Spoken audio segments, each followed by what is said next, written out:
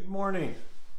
Thank you for joining me today. I hope your uh, your week went well. Now, as we come to the end of our week together, we're coming to chapter 49 in the book of Isaiah. Now, here at this point in the book of Isaiah, we're coming to another one of the servant songs. Remember, we saw the first servant song a while back. Now we're coming to the second one. Now, this servant song is a little bit different. It talks about the purpose of the servant from the perspective of the servant. So we're not going to spend a lot of time. We're just going to listen to these seven verses and think about what they mean for our lives. So open your ears, join me in Isaiah 49, and we'll read uh, verses 1 through 7 together. Listen to me, O coastlands. Give attention, you peoples from afar. The Lord called me from the womb, from the body of my mother, he named my name. He made my mouth like a sharp sword. In the shadow of his hand, he hid me. He made me like a polished arrow in, my, in his quiver he hid me away. He said to me, You are my servant, Israel, in whom I will be glorified. But I said, I have labored in vain. I have spent my strength for nothing in vanity. Yet surely my right is with the Lord, and my recompense with my God. And now the Lord says, He who formed me from the womb to be his servant, to bring Jacob back to him, that Israel might be gathered to him. For I am honored in the eyes of the Lord, and my God has become my strength. He says, It is too light a thing that you should be my servant, to raise up the tribes of Jacob, and to bring back the preserved of Israel. I will make you as a light to the nations, that my salvation may reach the ends of the earth. Thus says the Lord, the holy Redeemer of Israel, the, sorry, the Redeemer of Israel and his Holy One to one deeply despised, abhorred by the nation, the servant of rulers. Kings shall see and arise, princes, and they shall prostrate themselves because of the Lord who is faithful, the Holy One of Israel, who has chosen you. So, as we look at today's text, um, it's interesting. So, it's the servant. It, there's two servants in this text, whether you catch it or not. It's it's both the, the the proclamation is there for both of them, but yet there's a failed servant and a servant that succeeds. Um, at least that's how people usually interpret this. So the failed servant is the servant Israel. Israel failed to keep her promises. She failed to be faithful to who God had called her to be. In fact, she failed to pro- not only just be faithful in following God, she failed to proclaim the glory of God. So that's one Israel. The second, sorry, that's one servant. The second servant is the uh, next one who fulfills, has the same task, but where the first one labors in vain, the second one is formed with that simple purpose of um, bringing both Israel and Jacob back to God and bringing the nations into God's uh, story, into God's plan. And so this is where we see Christ at work. Christ did what Israel could not do.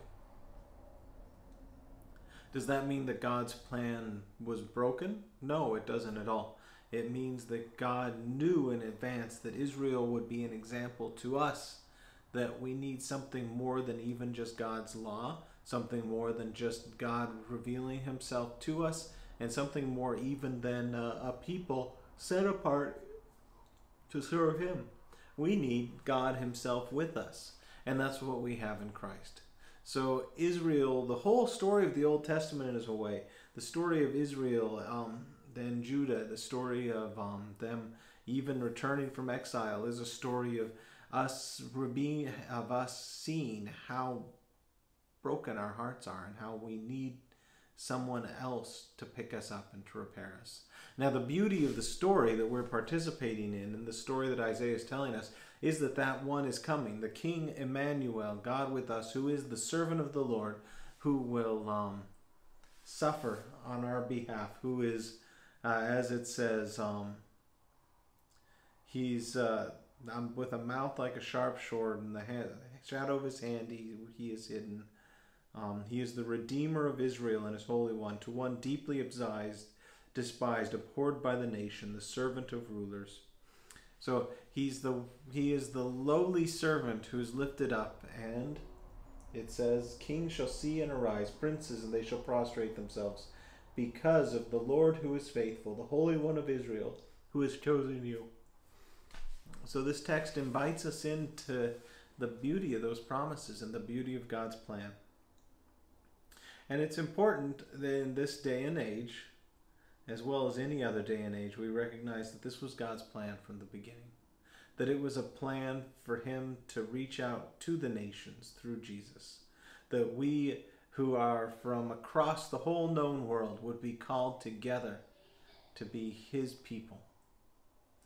Um, it's also good to see that there's this moment of restoration in that.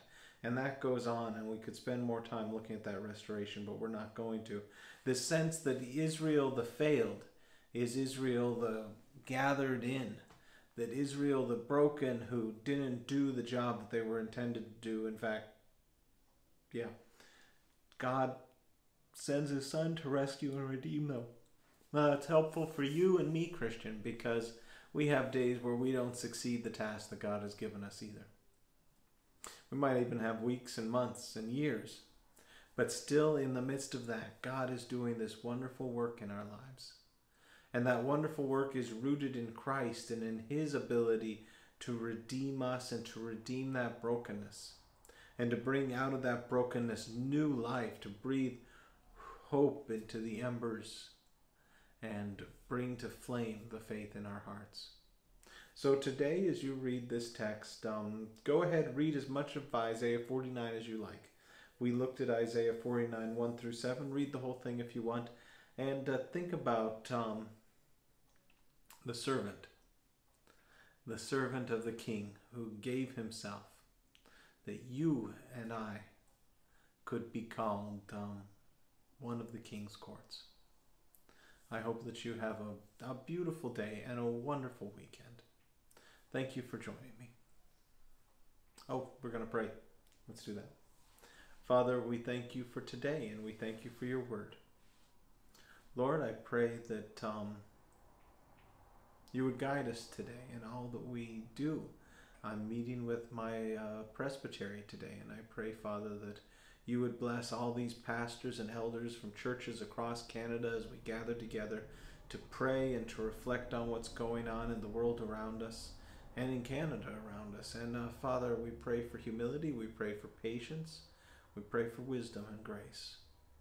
Father, I pray for those that we know who are hurting and those who are battling with um, real challenging problems, be they mental health or physical health. We pray for those that we know and love that are in the hospital, asking that you would comfort them. And I pray for each person who's joining me here today. May your spirit be their comfort and their strength.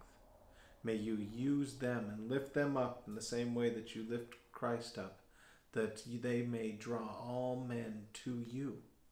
And Father, we pray that um, we would be examples of the love of Christ in this broken world not because of how good we are, but because how beautiful Christ is in us.